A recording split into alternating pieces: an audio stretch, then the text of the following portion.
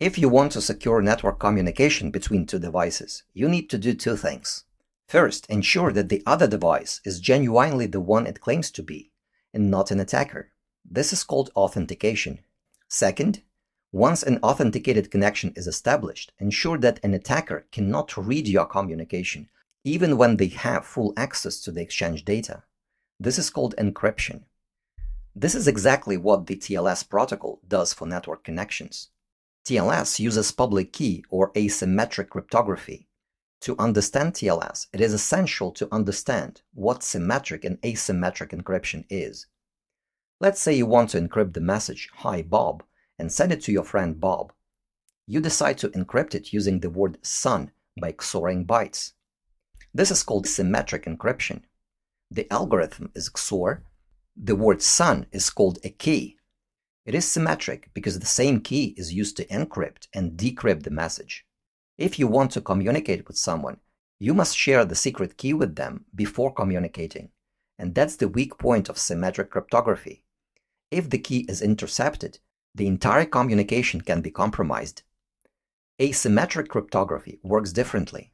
Instead of a single secret key, there are two keys, public and private. Private keys are never ever shared. Public keys are advertised openly to the whole world. Both you and Bob have your own pair of keys. Bob knows your public key, and you know Bob's public key. Anyone else can see your public keys.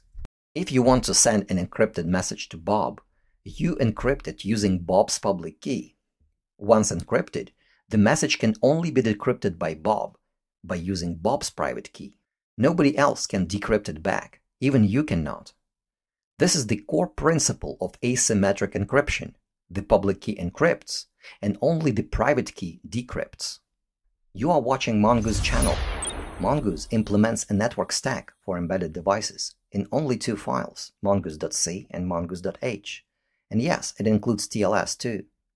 So if you're looking to create a professional web UI dashboard for your device, or connect to an MQTT server, click on the link below the video. Back to TLS. When two machines communicate, they generate private and public keys and exchange public keys at the initial stage of communication. This stage is called the TLS handshake. Once both sides know each other's public key, they can encrypt their communication, solving the encryption problem. How TLS handles authentication.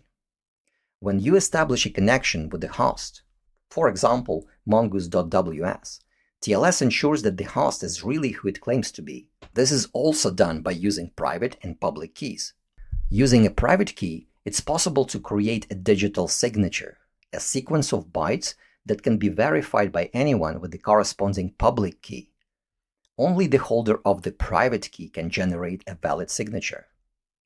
Here's how TLS authentication works.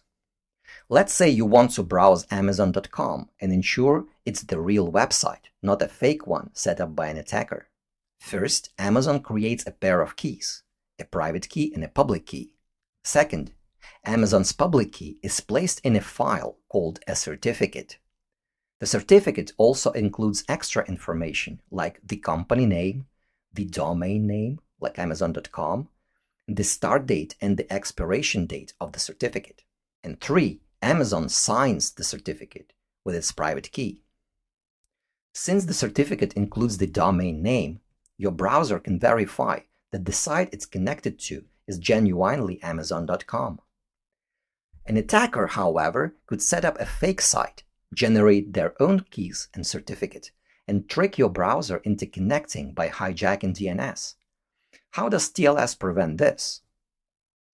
There are trusted companies called certificate authorities or CAs. CAs keep their private keys secure and widely publish their public keys as part of root CA certificates. These root CA certificates are pre-installed in browsers like Chrome or Firefox or operating systems.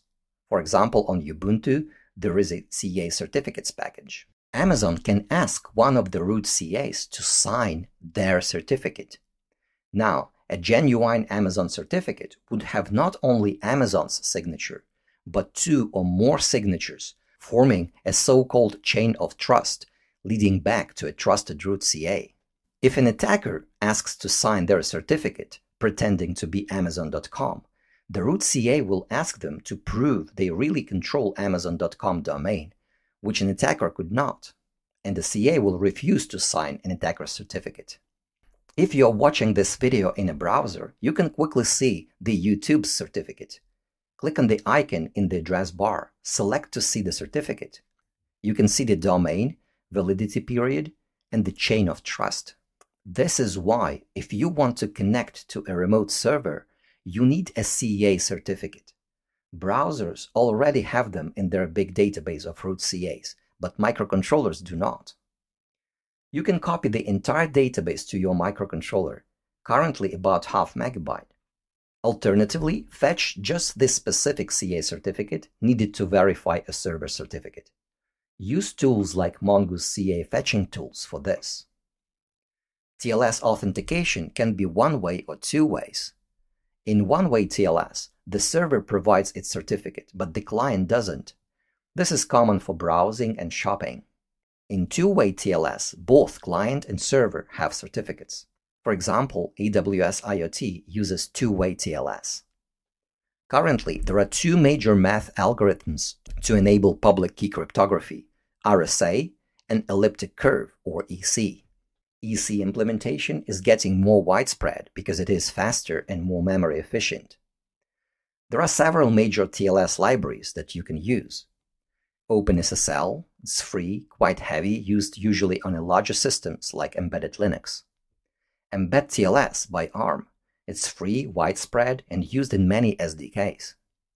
And WolfSSL, it's dual licensed, have OpenSSL compatibility layer. Mongoose can work with any of the above libraries. Alternatively, Mongoose implements its own TLS 1.3 stack. Enabling TLS in Mongoose is extremely easy and done in two steps. First, in mongoose.config.h, specify the TLS library you'd like to use, for example, a built-in TLS. Second, in the connection event handler, initiate TLS handshake by calling mgTLS init function. For server connections, use accept event and specify a certificate and a private key. For client connections, use connect event and specify a CA certificate. The easiest way to get certificates is using Mongoose Certificate Helper tool and hardcode certificates directly into the code. There are many other ways of storing certificates on a microcontroller. Certificate management is a complex topic and we will not cover it in this video. Let's do a quick benchmark and compare TLS performance using different implementations on the same development board. Let's pick Nucleo F756 by ST Microelectronics. And first, build the TLS example provided by the Cube IDE. It is called SSL Server. Cube's example is for a bit different board, F756 eval, so we need to change few things for it to work, specifically Ethernet mode, PHY address, and Ethernet pins. Then we build and flash the example and load it in the browser. The example HTML page is fairly simple. Use curl to measure the TLS request time. It is about 2.7 seconds. Now let's try Zephyr. We're going to use SamplesNet sockets HTTP server example. There we enable TLS and kconfig and change IP addresses in prg.conf. Build the example, then flash it. Load it in the browser. The example web page is more elaborate, but we can see that TLS communication is visibly slow. Apparently, mbedTLS setup is not optimized here. Use curl to measure the TLS request time. It is slightly above 4 seconds. Now let's use Mongoose. Use Wizard to generate a default Web UI dashboard project for Nucleo F756. Download it to the local directory build and flash it, and load it in the browser. Use curl to measure the TLS request time.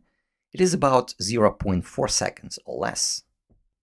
Hit like and subscribe if you like this video.